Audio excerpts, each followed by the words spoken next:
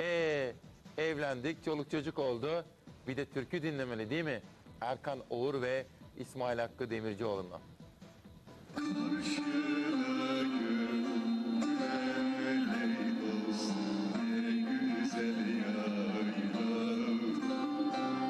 Savaşlar dursun diye söylediler.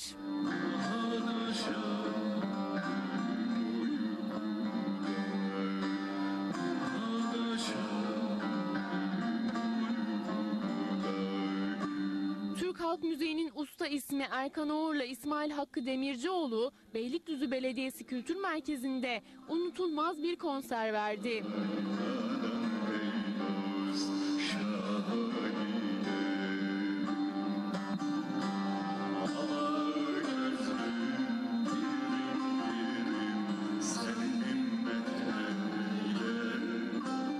Sevilen ikili, türküler ve özgün müziğin en güzel eserini Beylikdüzü halkı için seslendirdi.